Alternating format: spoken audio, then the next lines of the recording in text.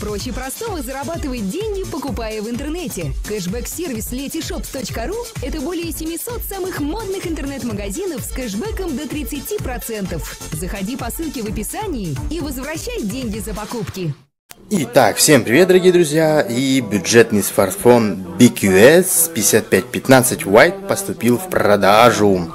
Российский бренд BQI Mobile представил новый 5,5-дюймовый смартфон BQS 5515 White. Аппарат, по мнению производителя, идеально подходит э, как для учебы, так и для отдыха. Новинка оснащена четырехъядерным процессором MT6735 LTE и 1 гигабайт оперативной памяти. Смартфон работает под управлением Android 5.1 и поддерживает 4G LTE. Емкость аккумулятора составляет 2800 мАч. Также э, стоит отметить основную 13-мегапиксельную камеру смартфона с поддержкой записи HD-видео и мощной вспышкой.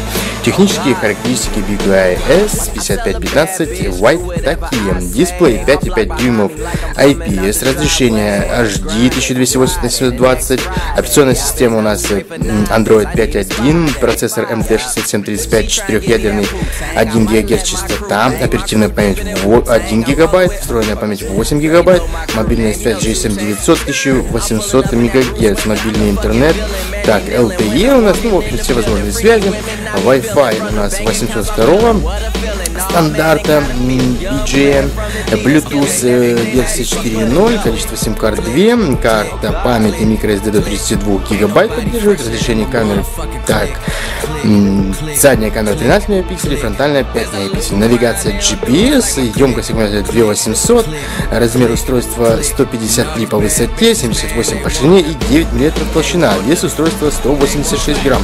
Э, продажи BQS 5515 White стартовали 23 августа. Смартфон доступен в четырех цветах.